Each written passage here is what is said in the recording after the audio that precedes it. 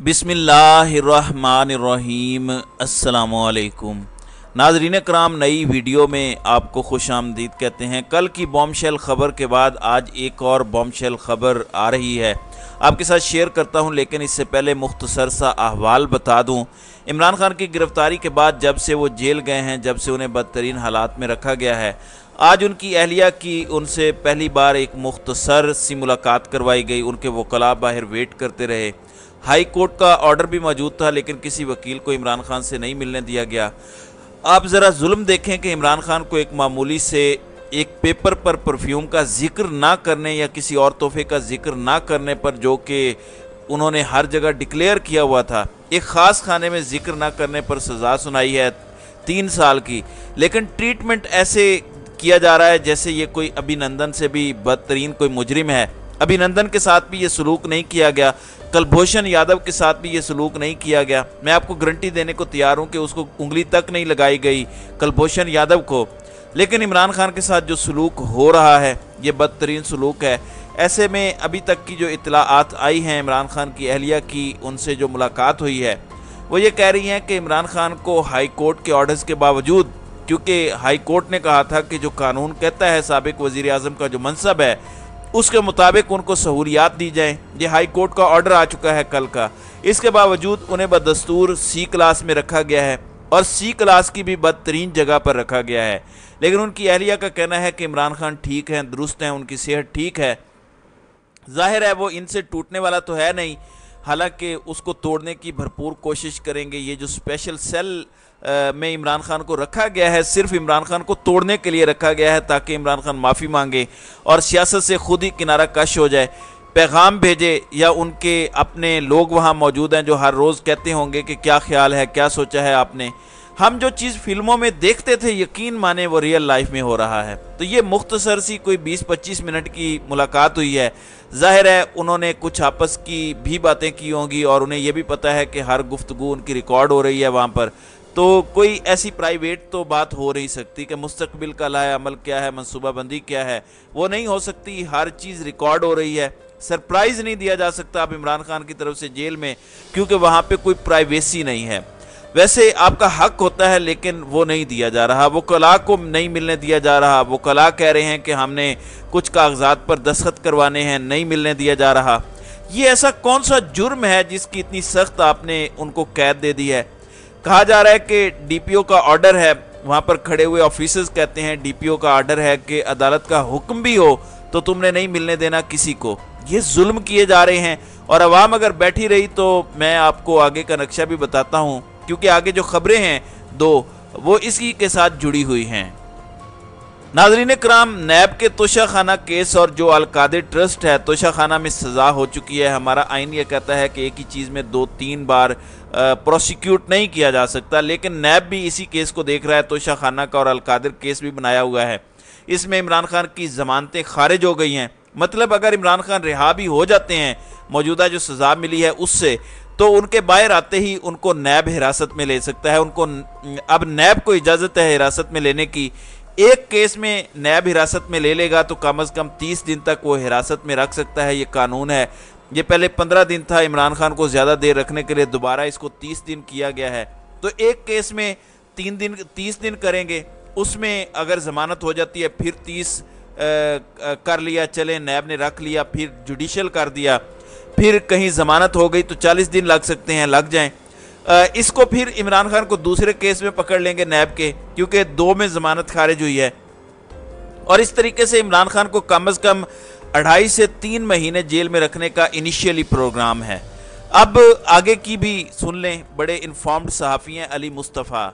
वो ये खबर देते हैं कि प्रेशर डाला जा रहा है इमरान खान के पाकिस्तान के प्रॉपर्टी टाइकॉन मलिक रियाज पर कि तुम इमरान खान के खिलाफ अप्रूवर बन जाओ, अलकादिर ट्रस्ट में।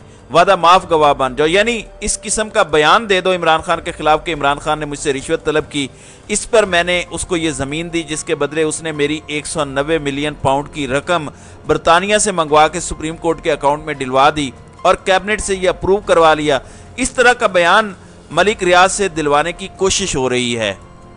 मलिक रियाज को संगीन नतज की धमकियाँ दी जा रही हैं। हो सकता है उनके कारोबारों पर कब्जा करने की बात हो रही हो। जिस बंदे का यहाँ पे बिज़नेस इंटरेस्ट है, वो एक हद तक ही स्टैंड ले सकता है। इवन दो कहा जा रहा है कि मलिक रियाज के पास सबकी वीडियो है, सबको उसने प्लाट दिए हुए हैं।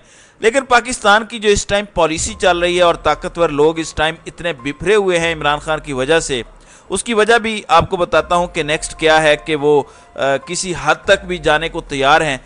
तो ये भी एक प्लान चल रहा है। ये प्लान क्यों ख़तरनाक है? क्योंकि नैब के केसेस में इंक्वायरी होती है इन्वेस्टिगेशन होती है फिर एक आ, आपका केस बिल्डअप करते हैं रेफरेंस दायर होता है एहतसाब अदालत में फिर केस लंबा चलता है। वैसे तो नैब का कानून जल्दी फैसला देने वाला था लेकिन अभी आपको पता है कि नैब की हिस्ट्री रही है कि छः महीने से साल डेढ़ साल समटाइम्स इससे भी ज़्यादा लग जाता है केस चलते रहते हैं। ये जो लंबे अरसे तक केयर टेकर हुकूमत चलाने की बातें हो रही हैं ये भी उसी प्लान का हिस्सा लगता है। इमरान खान को अभी इन केसेस में ज़्यादा देर अंदर रखना इवन नैब की आ, केस में ज़्यादा देर अंदर रखना मुमकिन नहीं है। अगर तो वाकई वक्त पे इलेक्शन हो जाते हैं फिर तो आ, ये आ, कर लेंगे। फिर तो इमरान खान जेल में होंगे जब इलेक्शन होंगे ना अहल भी होंगे जेल में भी होंगे। और इलेक्शन हो जाएँगे क्योंकि अढ़ाई से तीन महीने ये आराम से इमरान खान को आप जेल में रख सकते हैं, नैब की ये जो जमानतें खारिज हो गई हैं। तो इलेक्शन अगर तो नवंबर में होने हैं तो इमरान खान डेफिनेटली जेल में होंगे। लेकिन ये मार्च, अप्रैल की बात कर रहे हैं इलेक्शन की, तब इमरान खान को जेल में रखने का सिर्फ़ एक ही तरीका है कि इमरान खान को नैब का ट्रायल जल्दी चला के चार से छः महीने में सजा दे दी जाए। ये एक तरीका हो सकता है और नैब के केस में पाँच से सात साल सजा हो जाए और इमरान खान उसके बाद फिर बाहर की हवा ना देखें। कोशिश इनकी यह है कि इमरान खान अब कभी भी आज़ाद हवा में सांस ना लें।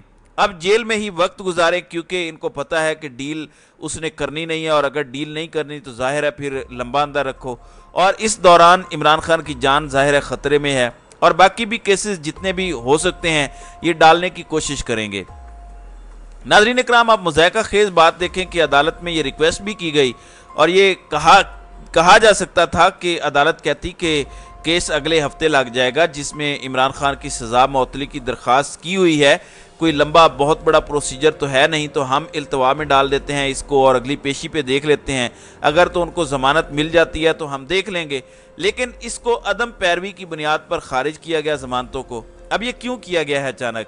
क्योंकि जब से ये साइफर दोबारा से आवाम के सामने आया है, पूरा मुल्क उसी पर बात कर रहा है। इंटरनेशनल मीडिया उस पर रिपोर्ट कर रहा है। ज़ाहिर है कि रजीम चेंज ऑपरेशन में तेज़ी आनी है। इनको पता है कि वक्त कम है इनके पास। झूठ पे खड़ी ये इमारत धड़ाम से किसी भी वक्त गिर सकती है तो जल्दी जल्दी ये कुछ करना चाहते हैं। इसलिए अब दोबारा से डबल डाउन कर रहे हैं। याद रखें, ये अमेरिका की तरफ़ से ही कहा गया है कि इमरान खान को आपने बाहर नहीं आने देना। जिस तरह कहा गया था कि आपने इसको ना हटाया तो छोड़ेंगे नहीं।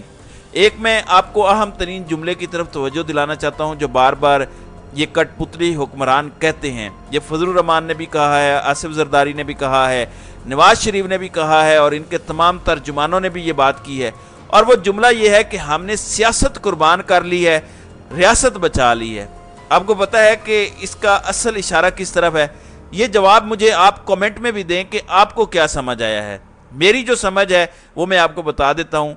ये इशारा अमरीकी धमकी की तरफ़ है कि अमरीका ने धमकी दी थी कि अगर इमरान खान को ना हटाया तो उसके संगीन नतज होंगे। तो ये इस तरफ़ इशारा है और ये ताकतवर हलकों को बार बार याद दिलाया जाता है कि हमने अमेरिका को राज़ी रखने के लिए ऐसे वक्त में हुकूमत ली।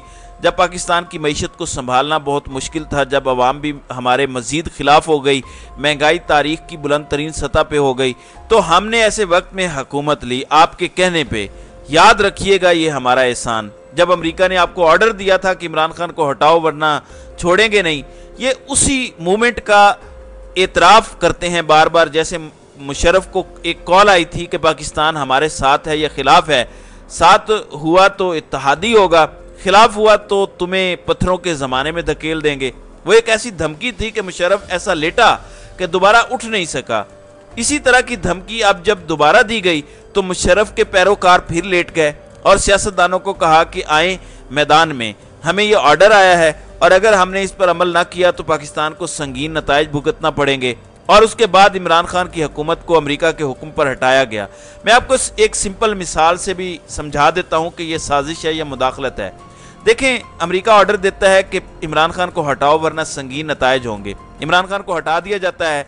इसको बेहतर अंदाज में यूँ समझ सकते हैं कि एक शख्स दूसरे शख्स से मुलाकात करता है और उसे कहता है कि वो जो तुम्हारा दोस्त है, तीसरा शख्स, अगर उसे तुम कत्ल नहीं करोगे तो मैं तुम्हें नहीं छोड़ूँगा। कुछ दिन बाद पता चलता है कि वो शख्स, वो तीसरा शख्स जिसको कत्ल करने का पहले शख्स ने दूसरे शख्स को ऑर्डर दिया था, वो शख्स कत्ल हो जाता है। तो आप मुझे बताएँ, ये साजिश है या मुदाखलत है? ऑर्डर दिया, दूसरे ने और तीसरा बंदा कत्ल हो गया जिसके बारे में ऑर्डर था। बिल्कुल उसी तरह यह भी हुआ है। हुकूमत से कहा गया, उसे निकालो, निकाला गया। सब कुछ साबित है। इसको आप साजिश कहें, मुदाखलत कहें ऑर्डर कहें, जो भी कहें यह किया है अमेरिका ने।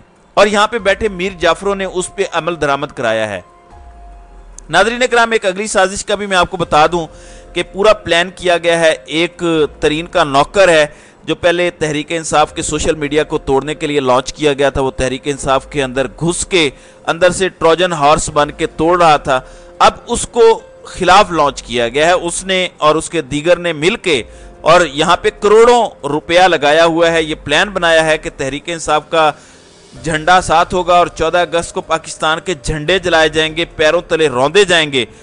और इस तरह तहरीक इंसाफ को मुल्क दुश्मन जमात करार दे के एक नई कंपेन स्टार्ट होगी। आपने किसी सूरत ऐसी कंपेन का हिस्सा नहीं बनना। आपने किसी सूरत कोई ट्वीट या पोस्ट नहीं करनी। आपको कोई इश्तियाल भी दिलाए कि हम इस बार 14 अगस्त नहीं मना रहे। ये जंग ही आ, पाकिस्तान को बचाने के लिए पाकिस्तान को हकीकी तौर पर आज़ादी आज़ाद करवाने के लिए है।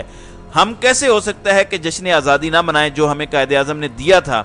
हम कायद अजम के पाकिस्तान को आज़ाद करवाने की जिदोजहद कर रहे हैं, लेकिन वो आज़ादी जो कायद अजम ने हमें लेकर दी थी, उसको हम सेलिब्रेट भी करेंगे। उसको आपने, इस बात को आपने समझना है, ये बड़ी ख़तरनाक साजिश है और इस पर अमल दरामद होगा।